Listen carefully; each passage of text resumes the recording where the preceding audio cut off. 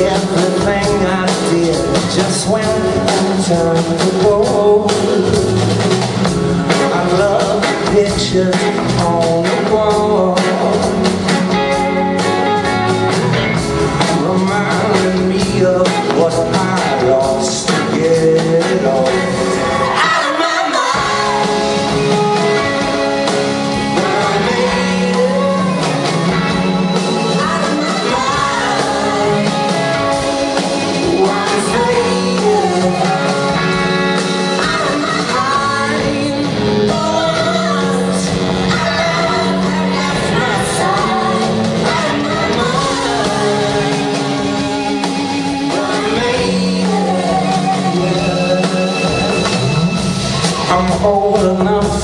to know the pain